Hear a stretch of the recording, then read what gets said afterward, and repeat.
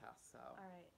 So this one, this was the one weird one that came out. It, it was like it overly. was really small. Oh. So obviously really chocolatey. yeah. Like that's the only thing I can taste because it's all like all chocolate. But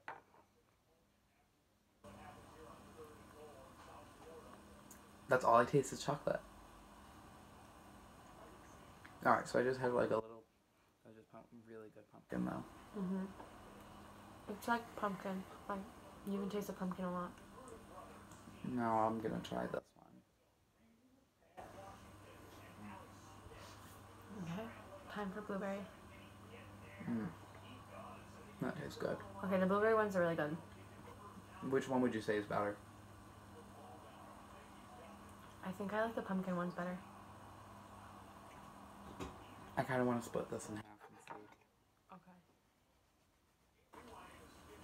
Because I don't think it's fair if we judge it. Because not everybody's gonna put chocolate chips in it, so. Mmm. Mm.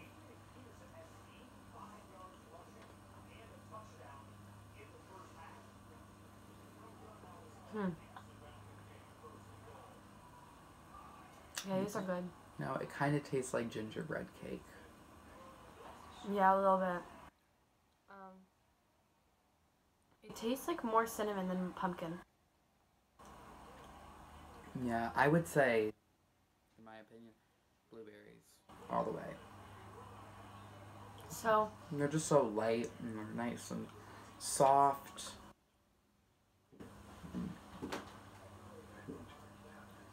They're really good. yes, these were good for fall, but I think just all the way, blueberry might be better. Blueberries might be better. And on that note, we're gonna wrap it up. And yeah, that, that's pretty much it. Have a great day.